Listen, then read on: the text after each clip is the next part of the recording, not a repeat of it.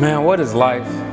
I don't even feel like doing this today. Who cares what people need? I just want a day to myself. I really want a life to myself. I can't deal I'm with this of anymore. doing all of this work and not seeing anything. I'm tired of putting in so and much. And what do I have in return to show for it? Absolutely nothing. I am sick and tired. I don't want to be in this place anymore. What if I just switched my career up right what now? What if I stop chasing this dream?